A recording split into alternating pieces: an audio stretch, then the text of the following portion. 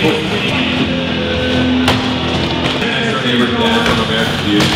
All day long.